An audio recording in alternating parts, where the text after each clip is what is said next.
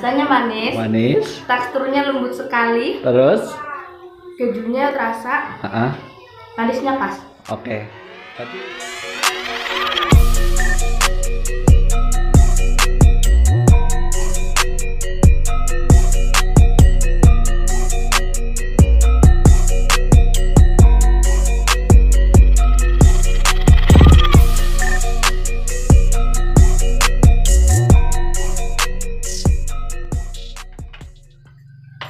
Assalamualaikum warahmatullahi wabarakatuh.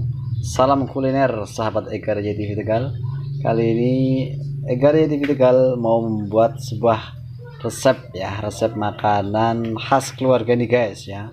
Yaitu apa ini pisang bakar atau pisang goreng pisang goreng. Eh, dengan toppingnya ya pertama kita sajikan yang utama itu pisang. Di sini kita menggunakan pisang bawen guys pisangnya besar-besar ya. Ini mempunyai cita rasa sendiri tersendiri guys ya. Yang bahan yang kedua yaitu di sini ada margarin ya. Dan yang ketiga ada keju guys ya. Keju. Ini hal wajib keju. Terus selanjutnya itu meses ya. Meses seres. Dan bahan yang ketiga yaitu susu Frisian flake ya. Susu cair. Eh, atau biasa disebut di sini susu kental manis guys ya seperti itu. Oke lebih jelasnya nanti kita coba membuat sebuah resep eh, yang saya bagikan untuk sahabat subscriber semuanya. Ya. Oke lanjut guys. Kita meracik dari eh, pisang keju coklat tersebut. Kita mulai eh, cara pembuatannya ya. Pertama yang kita siapkan itu pisang bawen yang kita eh, lupa apa ininya? nah ini kenapa harus pisang bawen ya karena rasanya ini enak guys. Jadi Iya ya, jadi beda dengan yang lain. Nggak cepet gosong. Terus isinya juga nggak cepet. Iya guys ya. Nanti setelah kita kupas ini ya, nanti kita ini kita kerok guys. Ya, kita haluskan ini bagian luarnya ini biar halus. Ini biar pas waktu digoreng ya atau dipanggang. Ini bagian ini ya. nggak cepet gosong, bagian ini juga halus gitu kalau kita kerok. Tapi kalau misalkan kita seperti ini aja ya, kita biarkan seperti ini, ini Cepet bisa gosong, cepet gosong mateng. dan nggak mateng seperti itu.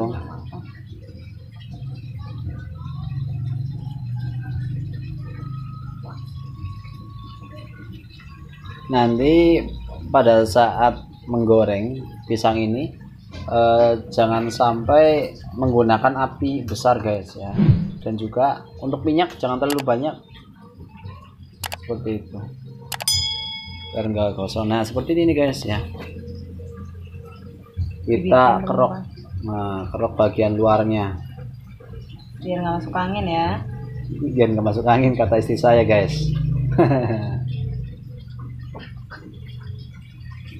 oh maaf guys ya latar belakang ini dapur dapurnya ini enggak seperti dapur-dapur chef-chef pada umumnya.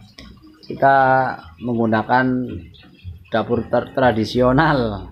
Dapur ala kadarnya ya. Dapur ala kadarnya. Semakin berantakan dapur berarti semakin sering masak berarti. nah itu. Bisa dilihat dari sini ya seperti itu. Tapi mu- mungkin kita termasuk tergolong orang orang jorok mungkin ya. Alibi ya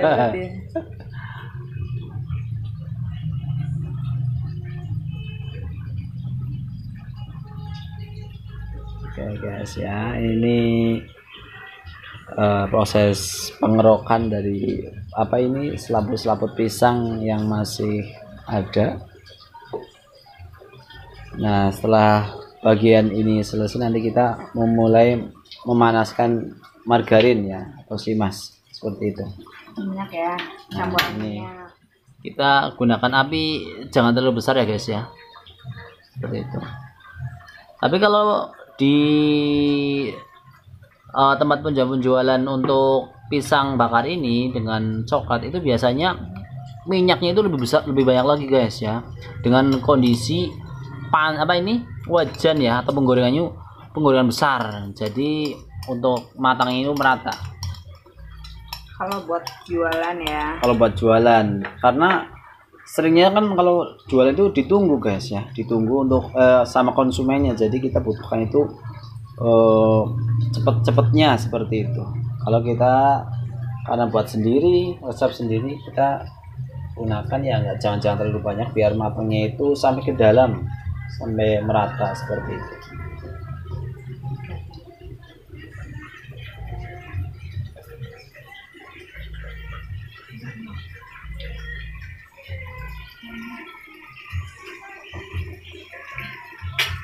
kita tunggu ya eh, minyak ini panas. Ini tadi minyak sayur biasa yang biasa dan kita tambah dengan margarinnya seperti itu. Makanya beda ini seperti telur ini enggak seperti itu. Jadi kita aduk biar rasanya itu gurih guys. Lanjut guys sekarang karena minyaknya sudah panas kita masukkan pisangnya yang sudah kita siapkan ya.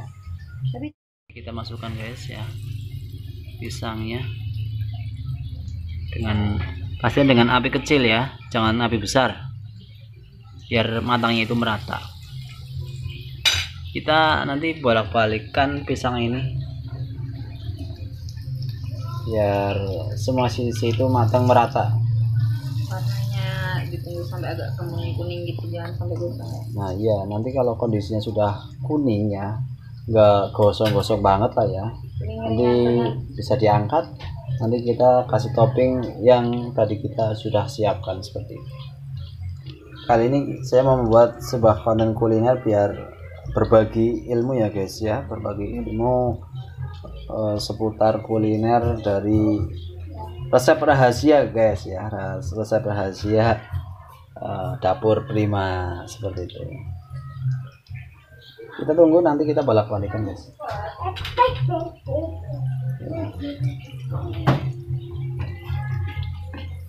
Gimana? Nah, udah gedein dikit ya. Yang penting anu rata matanya rata.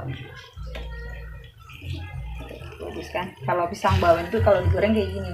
Tapi kalau selain pisang bawen biasanya tuh gosong cukup gosong tapi dalamnya belum anget panasnya belum sampai dalam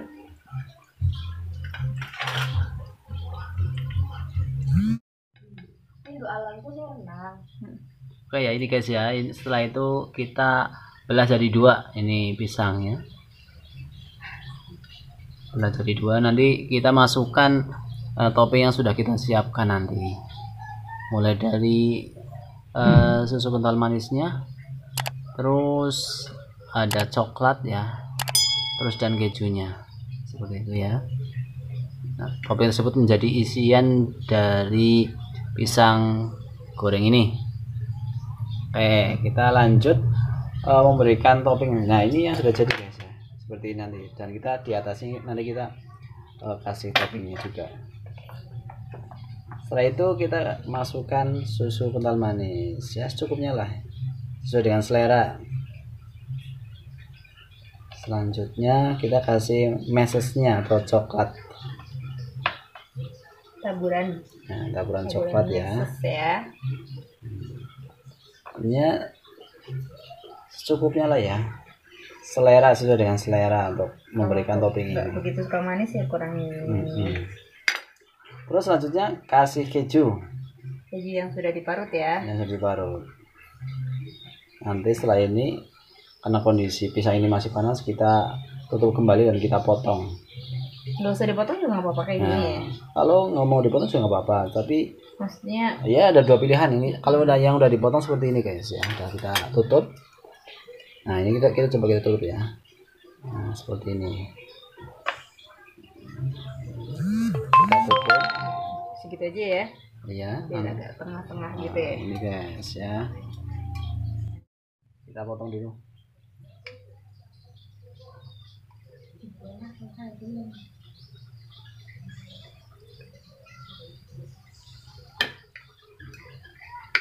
Nah kita potong. Oke. Oke, nanti kita lanjut bagaimana rasanya kita icip icipinya guys ya nanti kita coba ke warga terdekat eh, bagaimana tanggapan dari apa ini pisang coklat keju ini ya. Oke guys, kita coba cari warga ya di sekitar kita bagaimana untuk merasakan dari pisang ini ya.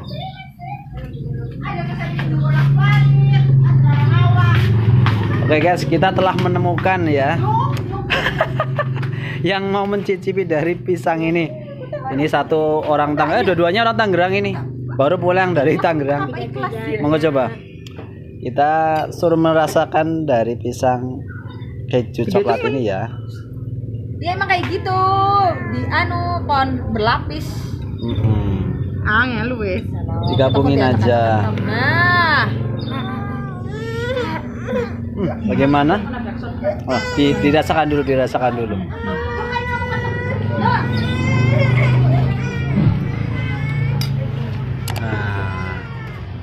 Nah, si papihnya coba apa alergi?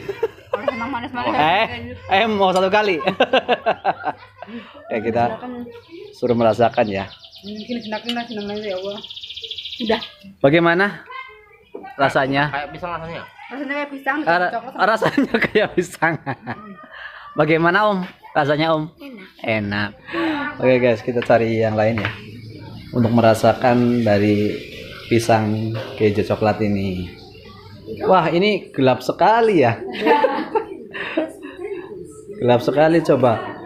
Ini eh, Tante coba merasakan bagaimana rasanya dari pisang keju coklat ini.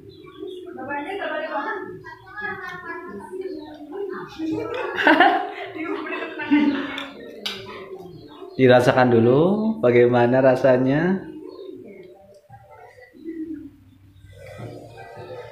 Rasanya manis, Manis. teksturnya lembut sekali, Terus, kejunya terasa, Ah, manisnya pas. oke. Berarti finishnya enak, mantap. Mantap. Oke, terima kasih. Itu tadi ya guys ya, dari beberapa warga sekitar yang merasakan dari pembuatan pisang ini ya. Ini tinggal sedikit guys. Saya kasih orang yang aja mungkin udah mantap lah ya. Oke, assalamualaikum warahmatullahi wabarakatuh.